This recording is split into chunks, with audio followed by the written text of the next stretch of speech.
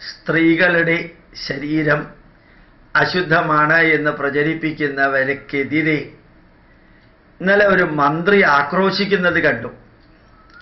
സ്ത്രീകളുടെ ശരീരം അശുദ്ധമാണെന്ന് ആരാ പറഞ്ഞത്? ആരെങ്കിലും പറഞ്ഞോ? ഒരിക്കലും പറഞ്ഞിട്ടില്ല. ഇല്ലാത്തത് എന്തൊക്കെയോ പറഞ്ഞ് അതും ഹിന്ദു ധർമ്മത്തിൽ വിള്ളലുണ്ടാക്കാൻ മുമ്പിലിരിക്കുന്ന വ്യക്തികളെ തനി പറ്റിക്കലാണ് ബോധമില്ലാത്ത പല മന്ത്രിമാരും ചെയ്യുന്നത്. സ്ത്രീകളുടെ ശരീരം അത് അപവിത്രമാണ് മലിനമാണ് എന്നൊക്കെ പറഞ്ഞാൽ എത്രയോ ദേവിമാരുടെ വിഗ്രഹം നമ്മൾ പൂജിക്കുന്നില്ലേ? മുന്നൂറ്ററുപത്തഞ്ചേകാൽ ദിവസവും. നമ്മളുടെ അമ്മ സ്ത്രീയല്ലേ? ഭാര്യ സ്ത്രീയല്ലേ? മകൾ സ്ത്രീയല്ലേ? സഹോദരി സ്ത്രീയല്ലേ?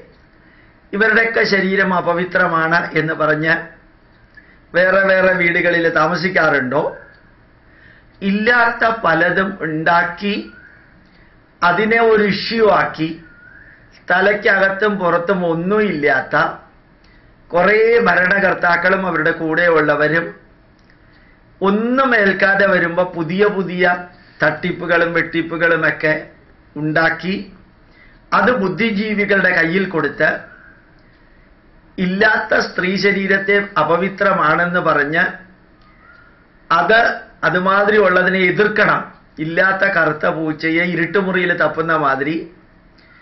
അതൊക്കെ പിന്തിരിപ്പനാണ്. ഭാരതത്തെ ഒരു നൂ അഞ്ഞൂറ് വർഷം പുറകോട്ട് കൊണ്ടുപോകുന്നതാണ്. എന്തായി കൊണ്ടുപോകുന്നത്? സ്ത്രീകളുടെ ശരീരം അപവിത്രമാണെന്ന് പറയുന്നതാ. ഈ ചക്കുളത്തുകാവിൽ നാരി പൂജയില്ലേ ഈ നോർത്ത് ഇന്ത്യയിൽ മുഴുവനും ഈ വിജയ ദുർഗാഷ്ടമി മഹാനവമി വിജയദശമി ദിവസം ശരിക്കും പെൺകുട്ടികളുടെ കുമാരി പൂജയുണ്ട്. ഈവൺ പിരീഡ് ആരംഭിക്കുമ്പോൾ പോലും ആ കുട്ടിയെ പൂജിക്കുകയാണ് പതിവ്. അത്ര ധന്യമായിട്ടാണ് പൂജിക്കുന്നത്. നാരി പൂജ മാതൃപൂജ പിതൃപൂജ എന്നുള്ളതിനേക്കാൾ ഉപരി മാതൃപൂജയാണ്. ഇത്രയും അധികം വ്യക്തമായിട്ട് മറ്റൊരു മതത്തിലും ഇല്ലാത്ത വിധത്തിൽ എത്ര നാര്യസ്തു പൂജ്യന്തി. എവിടെയാണോ സ്ത്രീകൾ പൂജിക്കപ്പെടുന്നത്? രമന്തേ തത്ര ദേവത. അവിടെ ദേവതമാർ ആനന്ദവൃത്തം ചെയ്യുന്നു എന്നുള്ളതാണ്. മാതൃദേവോ ഭവ എന്ന് പറഞ്ഞിട്ട് പിതൃദേവോ ഭവ എന്ന് പറയുന്നത്. ഇത് ഞാൻ പല പ്രാവശ്യം പറഞ്ഞതാ. അങ്ങനെ സ്ത്രീകളിൽ പൂർണമായിട്ടും ഈശ്വരീയത കാണുന്നത്.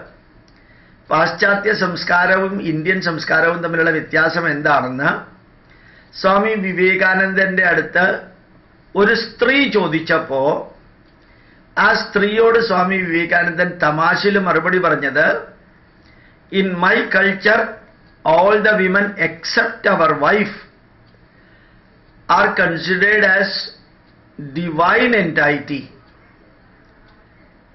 or mother all the ladies except the wife are considered as mothers. In your culture, all the ladies except your mother are considered as your wives.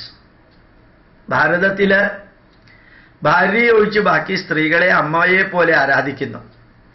പാശ്ചാത്യ നാടുകളിൽ അമ്മയൊഴിച്ച് ബാക്കിയുള്ളവരെ ഭാര്യയെ പോലെ ആരാധിക്കുന്നു അല്ലെങ്കിൽ ഉപയോഗിക്കുന്നു.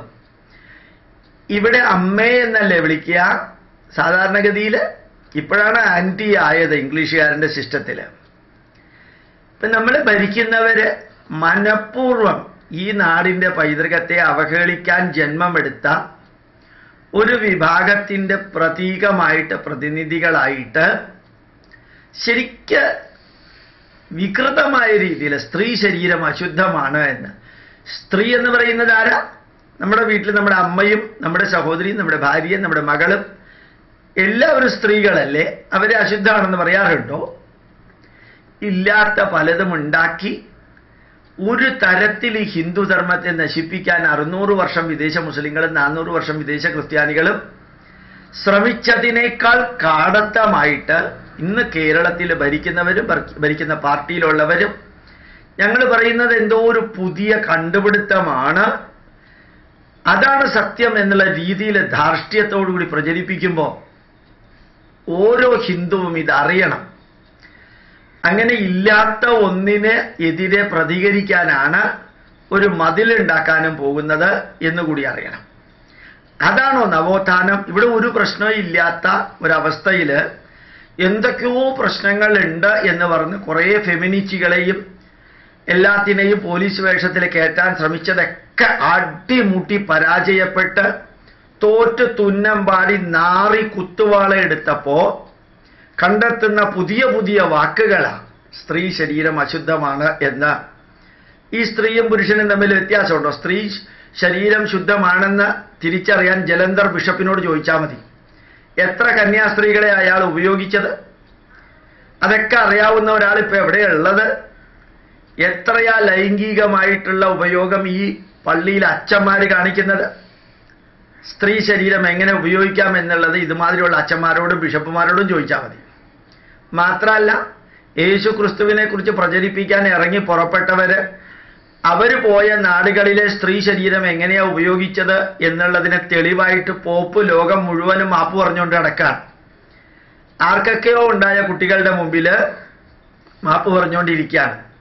അങ്ങനെ ഒരു ഒരു ആചാര്യനും ഭാരതത്തിൽ ചെയ്തിട്ടില്ല. ഇനി അങ്ങനെ ഏതെങ്കിലും ആചാര്യൻ ഏതെങ്കിലും വീട്ടിൽ പോയി കിടന്നിട്ടുണ്ടെങ്കിൽ അയാൾ ഉപയോഗിക്കാൻ സാധ്യതയുള്ള ഭാഗം മുറിച്ചു കളഞ്ഞിട്ടാ തിരിച്ച് ആശ്രമത്തിലേക്ക് വന്നിരിക്കുന്നത് അല്ലെങ്കിൽ ജയിലിൽ പോയത് അല്ലെങ്കിൽ മെഡിക്കൽ കോളേജിൽ പോയത്. അങ്ങനെ ചെയ്യാൻ ക്രിസ്ത്യൻ സ്ത്രീകൾക്ക് ചങ്കൂറ്റം ഇല്ലാത്തത് കൊണ്ടാണ് ഇവരൊക്കെ വിലസുന്നത്. അപ്പൊ സ്ത്രീ ശരീരം പരിശുദ്ധമാണോ അല്ലയോ എന്നുള്ളത് പഠിപ്പിക്കേണ്ടത് ഹിന്ദുവിനെ അല്ല. മറ്റുള്ളവരെയാണ് ഇത് പഠിപ്പിക്കേണ്ടത് എന്ന് കൂടി ഇവിടുത്തെ മന്ത്രിമാരെ ഒന്ന് അറിയിക്കുന്നു. പ്രണാമം.